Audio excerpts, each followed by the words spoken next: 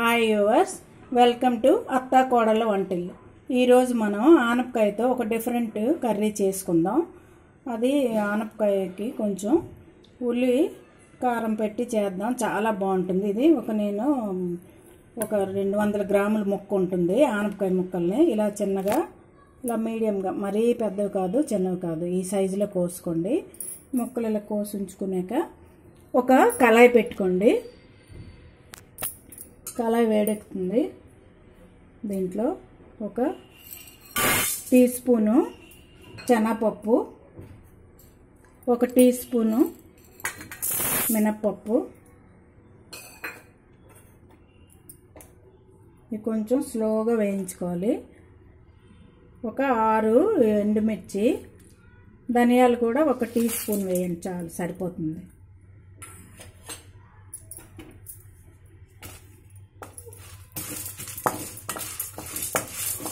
ఇలాగా స్లోగా వేయించుకుందాం. మంచి స్మెల్ వస్తుంది చూసారా? వేడెక్కింది. చిటపట్లు ఆడుతుంది ధనియాలు మినప్పప్పు శనగపప్పు ఎండుమిర్చి కొంచెం స్లోగా వేయి ఇలా వేయించుకున్నాక ఇవి ఒక పక్కని ఒక ప్లేట్లోకి తీసుకుందాం. ఇవి చల్లారి పెట్టి కొంచెం పౌడర్ చేసుకోవాలి. ఇప్పుడు మళ్ళీ కళాయి పెట్టుకొని ఒక రెండు స్పూన్లు ఆయిల్ వేయండి. దీంట్లో ఒక పెద్ద ఉల్లిపాయ నేను తీసుకున్నాను. ఇలా ముక్కలు వేయండి.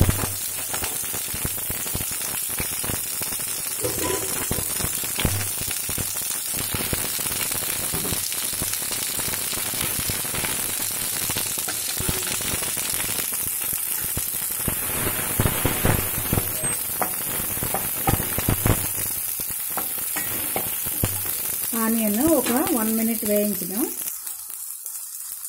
ఆనియన్ వేగింది కదా. ఇప్పుడు ఒక రెండు చిన్న టమాటాలు ఇదిగోండి రెండే రెండు టమాటా ముక్కలు ఇందులో వేసుకున్నాం.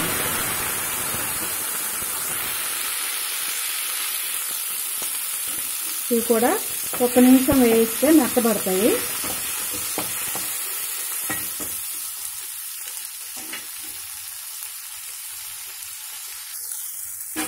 టమాటా ముక్కలు కూడా మగ్గాయి కదా చూసారా? ఇవి కూడా ఓ పక్కకు ఉంచి చల్లారి పెట్టుకుందాం. ఇది పేస్ట్ చేసుకోవాలి. ఇప్పుడు మనం వేయించిన పప్పులు అన్నీ గొండిలాగా మిక్సీలో పొడి చేశాను. ఇలాగా మిక్సీలో పొడి చేశాను. ఈ టమాటా ఉల్లిపాయలు కూడా ఇవి మనం పేస్ట్ చేసుకోవాలి. కొంచెం చల్లారి పెట్టుకుందాం. ఇలాగా కుక్కర్ పెట్టి ఒక మూడు స్పూన్లు ఆయిల్ వేయండి. చాలు సరిపోతుంది. ఆవాలు కరివేపాకు పోపు.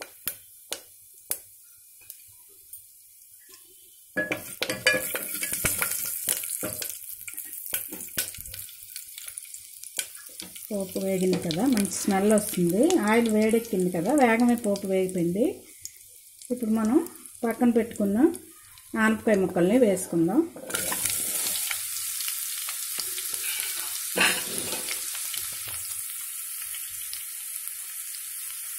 ఒక హాఫ్ స్పూను పసుపు.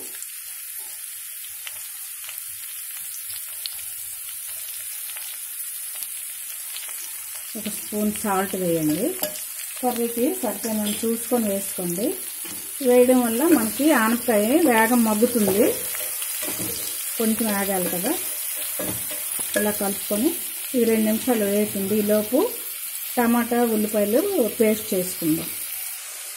ఆనియన్స్ టమాటా ఇలా తీసుకున్నాం కదా ఇందులో ఇది చిన్నది ఒక బొత్తంతా చింతపండు వేయండి.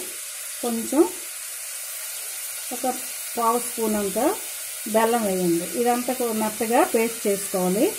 ఇప్పుడు పేస్ట్ చేసుకుందాం. చూసారా? ఇలాగా పేస్ట్ చేసుకుంటే ఇది స్పూన్ తోటి ఒక గిన్నెలో తీసుకుంటే బాగుంటుంది. చూసారు? మెత్తగా అయిన పేస్ట్. ఇప్పుడు ఇంకా ఆనపకాయ వేగుతుంది కదా. అది ఒక్క ఒక్క నిమిషం వేయించుకు ఆనపకాయ వేగింది.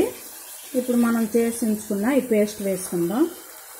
ఆల్రెడీ ఈ వేగినవి కాబట్టి టేస్ట్గా బాగానే ఉంటుంది.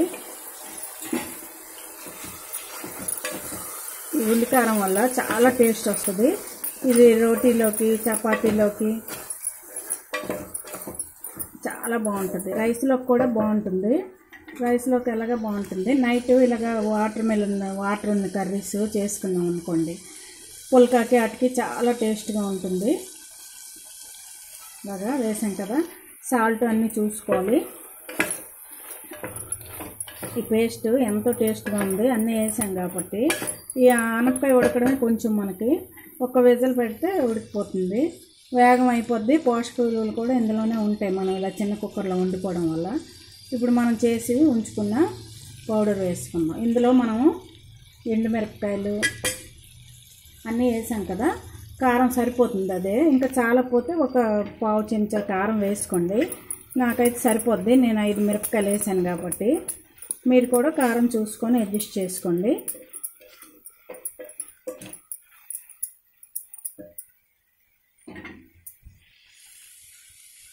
ఇప్పుడు వాటర్ వేసుకుందాం. వేగుతుంది కదా? చూసారా? ఆయిల్ తేరుతుంది ఇప్పుడు మనం మిక్సీ తిట్టుకున్నాం దీంట్లో కొంచెం ఆనపై కొంచెం వాటర్ ఎలాగో వస్తుంది. ఒక చిన్న గ్లాస్కి హాఫ్ వేసుకోండి సరిపోతుంది. ఎక్కువ అక్కర్లేదు. మనం ఈ పౌడర్ వేసాం కదా దానివల్ల కూడా చిక్కబడుతుంది.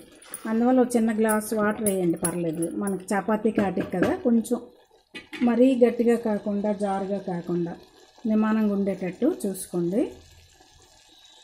దీనికి కుక్కరు మూత పెడదాం. ఇలాగా వాటర్ అంతా అడ్జస్ట్ చేసుకొని కొంచెం సాల్ట్ చా- చాలలేదు నేను వేసుకున్నాను. మీరు కూడా చూసి వేసుకొని అప్పుడు కుక్కర్ మూత పెట్టేయండి. ఒక్క విజలు వేయించితే చాలు ఎక్కువ అక్కర్లేదు. అన్నీ వేగాయి కదా ఆనపకాయ వేగమే ఉడికిపోద్ది ఇలా పెట్టి ఒక్క విజలు వేయించండి చాలు. ఫుల్ ఫుల్లో పెట్టి హైలో పెట్టండి. చూద్దామా? ఐదు నిమిషాలు అయింది కదా. కర్రీ రెడీ అయింది. చూసారా?